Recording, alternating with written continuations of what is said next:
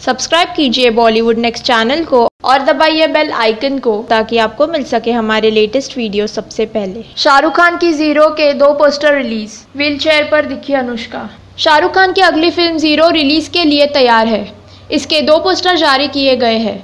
एक में शाहरुख खान बौने दिखे हैं और कटरीना कैफ संग रोमांस कर रहे हैं। वहीं दूसरे में अनुष्का शर्मा संग दिखे हैं। ज़ीरो फ़िल्म की चर्चा लंबे समय से हो रही है। इसमें शाहरुख का बौना दिखना सबसे बड़ा आकर्षण है।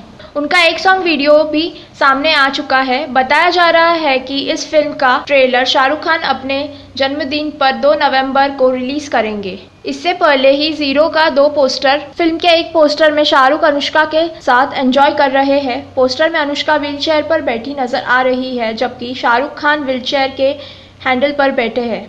बताया जा रहा है कि पोस्टर का बैकग्राउंड दिल्ली के कनाट प्लेस का है।